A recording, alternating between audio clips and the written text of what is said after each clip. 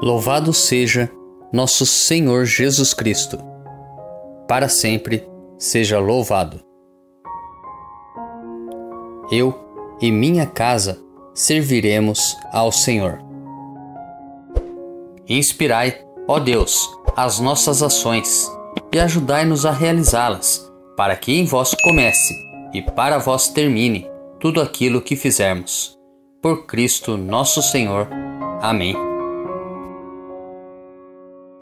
Antes de iniciarmos a reflexão da palavra, rezemos juntos a oração de reenvio das flechas envenenadas.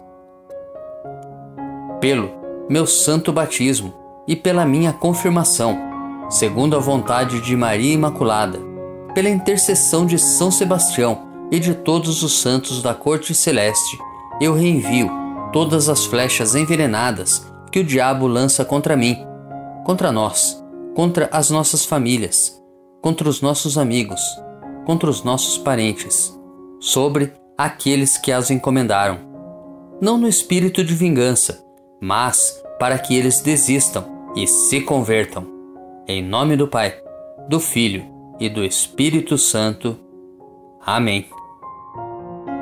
Primeira leitura. A leitura de hoje é tirada do primeiro livro de Samuel, capítulo 1, dos versículos 24 ao 28. Naqueles dias, Ana, logo que o desmamou, levou consigo Samuel à casa do Senhor em Silo, e mais um novilho de três anos, três arrobas de farinha e um odre de vinho. O menino, porém, era ainda uma criança. Depois de sacrificarem o novilho, apresentaram o menino a Eli. E Ana disse-lhe: Ouve, meu Senhor, por tua vida. Eu sou a mulher que esteve aqui orando ao Senhor na tua presença. Eis o menino por quem eu pedi, e o Senhor ouviu a minha súplica. Portanto, eu também o ofereço ao Senhor, a fim de que só a ele sirva em todos os dias da sua vida. E adoraram o Senhor. Nos preparemos para a reflexão da palavra, rezando juntos o salmo responsorial, retirado do primeiro livro de Samuel, capítulo 2. Meu coração exultou no meu Senhor, Salvador. Exulta no Senhor meu coração e se eleva a minha fronte no meu Deus. Minha boca desafia os meus rivais, porque me alegro com a vossa salvação.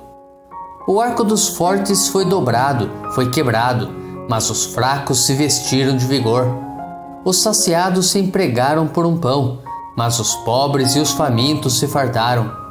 Muitas vezes deu à luz a que era estéril, mas a mãe de muitos filhos definhou.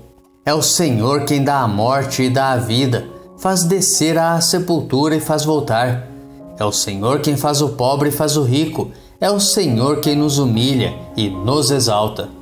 O Senhor ergue do pó o homem fraco e do lixo ele retira o indigente, para fazê-los assentar-se com os nobres, num lugar de muita honra e distinção.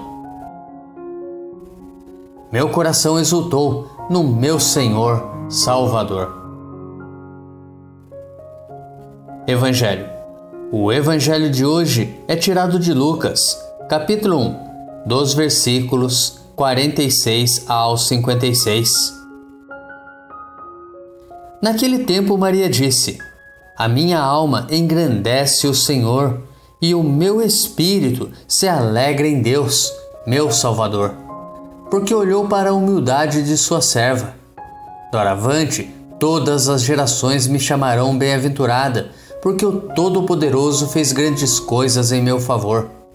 O seu nome é santo e sua misericórdia se estende de geração em geração a todos os que o temem. Ele mostrou a força de seu braço, dispersou os soberbos de coração, derrubou do trono os poderosos e elevou os humildes. Encheu de bens os famintos e despediu os ricos de mãos vazias. Socorreu Israel, seu servo, lembrando-se de sua misericórdia conforme prometera aos nossos pais em favor de Abraão e de sua descendência para sempre.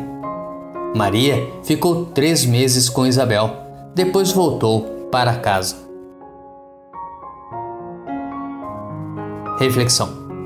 Ana, na primeira leitura do livro de Samuel, volta para agradecer a Deus o presente que ele lhe concedeu, seu filho. Aquele gesto emocionante revela-nos a gratidão de uma pessoa por todo o bem que Deus lhe concede. O Senhor, em todo o tempo, nunca deixou de ouvir a quem a ele se dirige, abençoando com largueza e oferecendo sua grandiosa ajuda. Neste tempo do advento, às portas do Natal do Senhor, saibamos reconhecer os feitos de Deus e abramos também nós os nossos corações. Maria, por sua vez, também eleva um canto de louvor, um dos mais belos do Novo Testamento, Evangelho. Ali manifesta a certeza de que Deus vem em auxílio dos humildes e a salvação que ele concede é para todas as gerações a mãe de Jesus eleva sua voz, reconhecendo que a bondade do Senhor é para sempre e que ele mostra a força do seu braço forte e santo.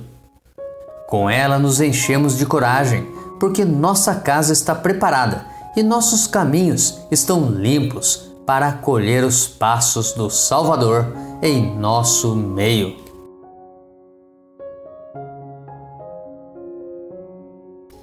Mas e quanto a nós?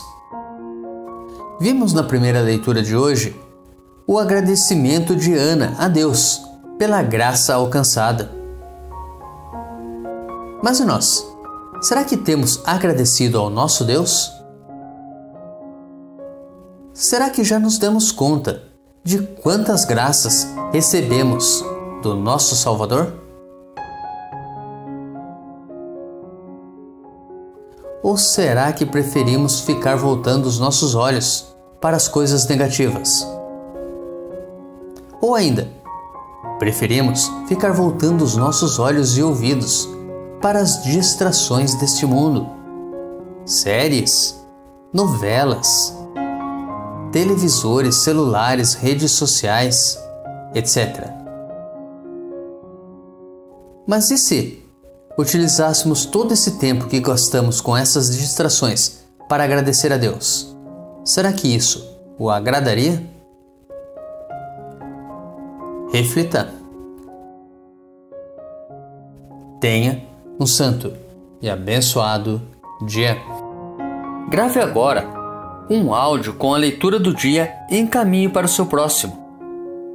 Ou envie um versículo da Bíblia nesse instante.